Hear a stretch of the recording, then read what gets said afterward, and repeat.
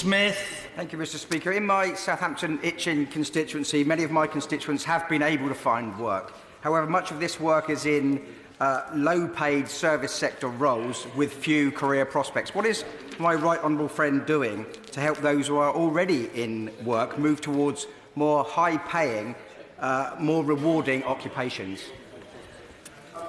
Mr Speaker, around 75% of the jobs that have been created since 2010 are full-time, they're permanent, and they're in higher skill occupations which attract higher wages. But my honourable friend is right. Uh, we need to help people with low earnings progress, and that's why under Universal Credit we have work coaches offering one-to-one support, and we're undertaking trials to determine what further support we can provide to help people progress into better pay.